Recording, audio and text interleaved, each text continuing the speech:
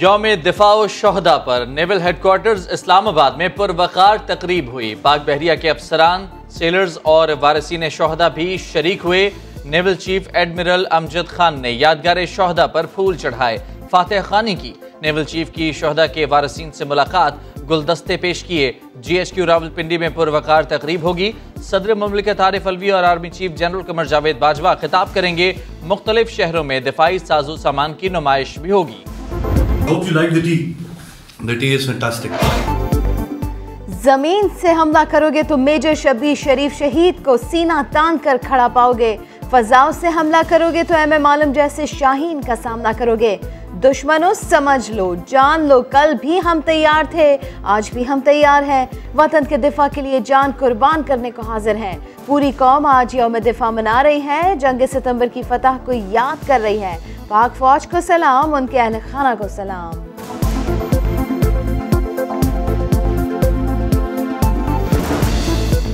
तालिबान पंजशेर के governor house और police lines में दाखिल हो गए। मजामती ग्रुप के तर्जुमान फहीम दश्ती और जनरल वदूद जरा की हलाकत का दावा, तालिबान पंजशेर फतह करने का बाकायदा ऐलान जल्द करेंगे।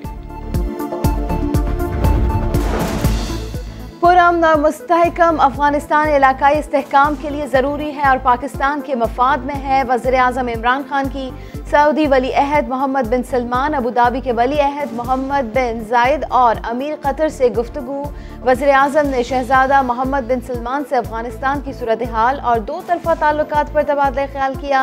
मुख्तलिफ़ शोबों में ताउन बढ़ाने पर इतफाक़ सऊदी अरब की खुद मुख्तारी और इलाकई सालमियत के लिए पाकिस्तान की हिमायत के अज़म का यादा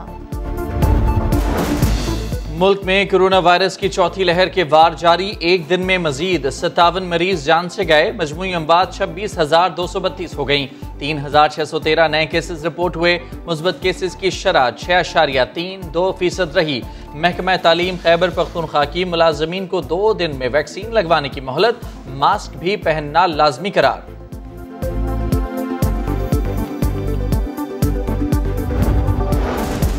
टोक्यो पैरालंपिक्स में गोल्ड मेडल जीतने वाले हैदर अली वतन वापस पहुँच गए लाहौर एयरपोर्ट पर शहरियों की जानब से शानदार इस्तकबाल। वज़ीर खेल पंजाब तैमूर ने गुलदस्ता पेश किया। हैदर अली डिस्कस थ्रो मुकाबले में गोल्ड मेडल जीतने वाले पहले पाकिस्तानी हैं।